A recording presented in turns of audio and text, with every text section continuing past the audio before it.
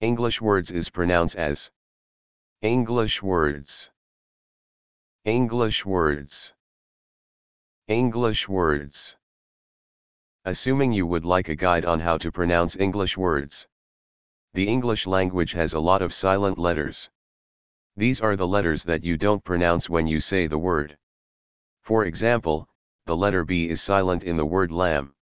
Other silent letters include, the letter C in the word scissors, the letter E at the end of words like vote and home, the letter G in the word gnome, the letter H in the word hour, the letter K in the word knee, the letter L in the word psalm, the letter N in the word autumn, the letter P in the word psychology, the letter T in the word castle, and the letter X in the word Xerox.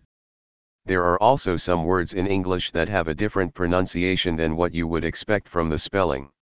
For example, the word colonel is pronounced kernel, and the word Wednesday is pronounced Wednesday.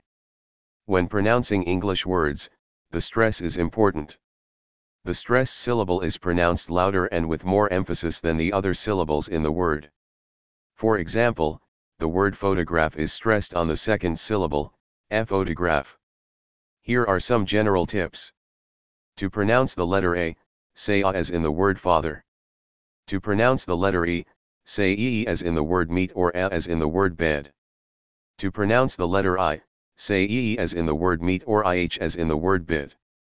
To pronounce the letter O, say o as in the word boat. To pronounce the letter U, say oo as in the word moon or a as in the word bud.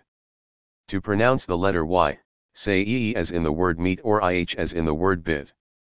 Here are some specific words and their pronunciations.